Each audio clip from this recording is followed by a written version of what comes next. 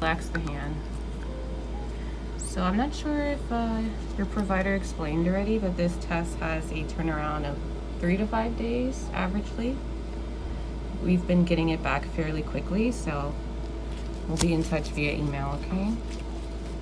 And if you have the One Medical app, it's super seamless. Band-aids are fine on the skin? Awesome.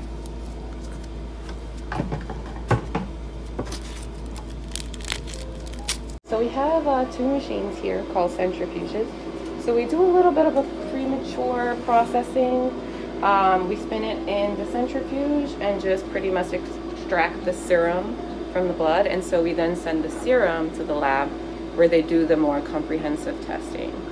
So yeah, it's kind of like a teamwork where we get the process started, but then the lab does finishing touches and then they email us the report you put it in the machine, close it, hit start, and then it's about a good uh, 10 to 15 minutes spin time.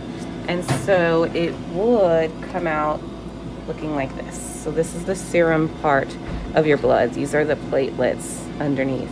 And that gel that you see at the bottom there, that migrates to the middle in order to separate the serum from the rest of the components in the blood. And then once that like separates like that, then it's ready to be sent to the lab. Exactly, yeah. Sometimes they want us to send the tube as is, but for this particular antibody test, they need the serum portion of your blood, and so that's why we pop it into the centrifuge.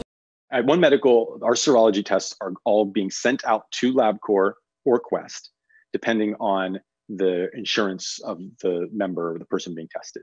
When LabCorp, for example, receives that test, most of the time they are using a test that is manufactured, the reagents and the machine manufactured by Abbott.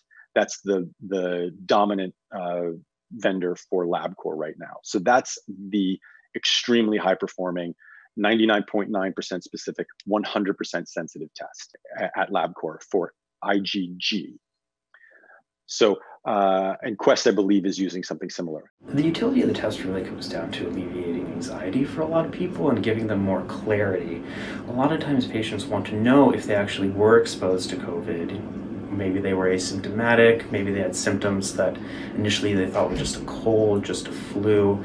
So the importance of the test, on the one hand, is to give our patients more clarity, lessen some anxiety around their own health. The other useful fact of this test is that it can tell us a little bit more about the spread of COVID. So patients who maybe didn't get tested for the virus with the PCR test, either due to lack of availability or they didn't have symptoms, I think we're going to find that tracking the spread of this virus is going to be a lot more useful using the antibody test eventually. Say you have something that's 95% accurate or 90% accurate. That sounds pretty good, but it's not when you're testing hundreds of thousands of people or millions of people, you could have tens of thousands of inaccurate information on both ways. So you want something, honestly, that's greater than 99% in both of those measures. Let's take one of the um, point of care tests, for example, that have lower specificity and lower sensitivity. Uh, let's say that they have 95% sensitivity and 95% specificity.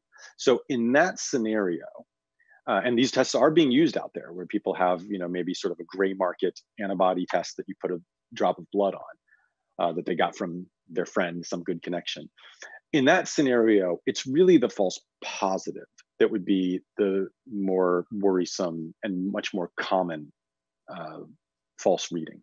And that's because, again, the prevalence of the condition is so low. So with the with the low pre- prevalence condition, if the test tells you that you don't have it, you can actually be pretty darn confident that you don't. So the false negative rate we think is going to be pretty low with this stuff, but the false positive rate is what we're most worried about. And that's what we're that's why we're so interested in getting highly specific tests. For SARS and MERS, which are similar um, to the novel coronavirus, presence of antibodies typically gave persons two to three years of protection. So that's a good sign. And in other instances like this, antibodies usually give protection. For how long? We're not sure. But if I had to guess, I'm going to guess that the presence of antibodies gives some protection if it's an accurate test. And I am telling people now if you get a positive test, get another one somewhere else to make sure. So, my bet is, and there was a recent study that showed uh, that antibodies probably do indeed give some level of protection.